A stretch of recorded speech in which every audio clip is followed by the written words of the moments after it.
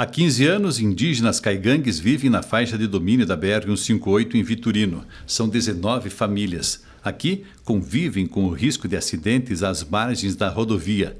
A prefeitura foi condenada num processo que se arrasta há muitos anos para dar uma solução transitória até que uma comissão já nominada analise e escolha uma área definitiva para abrigar as famílias indígenas. Para a solução transitória, comprou essa área de quase 40 mil metros quadrados a cerca de 500 metros onde a comunidade vive hoje mas houve impasse quanto à área para a nova comunidade. Primeiro, a prefeitura ofertou pouco mais de 10 mil metros quadrados. O tema foi motivo de muitas reuniões.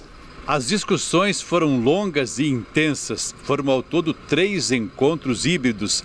Parte das autoridades, como da Prefeitura e dos indígenas aqui da Prefeitura de Vitorino, e outras instituições, como o Ministério Público Federal, à distância e depois de tantas discussões chegou-se à conclusão.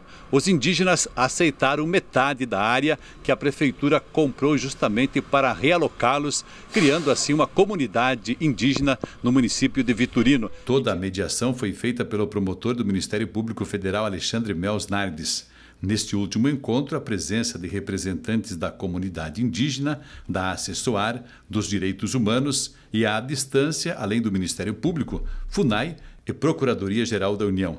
O promotor vai oficiar às demais partes envolvidas que o acordo foi firmado. Eu peço então, reitero a solicitação ao prefeito que mantenha, por favor, a comunidade do Ministério Público informados do avanço do licenciamento ambiental e se encontrar qualquer dificuldade, por favor, entre em contato. Depois da emissão da licença ambiental, a Prefeitura de Vitorino tem até 90 dias para entregar a área com ruas e terraplanagem para a FUNAI fazer a realocação das 19 famílias.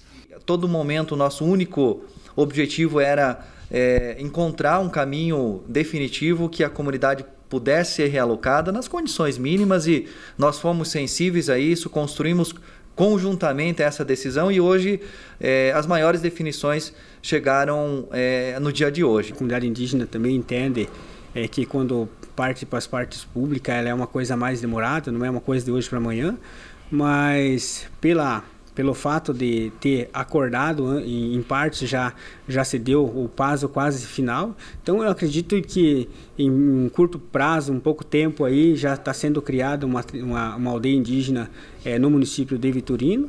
A Prefeitura de Vitorino já tem o projeto de como ficará a nova comunidade indígena. O acordo encerra um impasse de mais de uma década. De grande importância pelo fato de que já está tirando a comunidade é, de, de, uma área de risco. Então a comunidade só tem a agradecer a parte é, do município, das as partes que estão interessadas ao, ao, ao caso ali. Nós assumimos compromissos que, embora não eram postos em processos judiciais, no, assumimos na, no intuito de melhor atender a comunidade, tendo sensibilidade e compreensão das necessidades hoje da comunidade indígena. Então, o poder público foi muito solidário. Além de uma decisão judicial, eu julgo que nós fomos bastante solidários e sensíveis a essa situação e hoje um dia feliz para todos porque nós realmente chegamos a definições conclusivas e importantes para todos.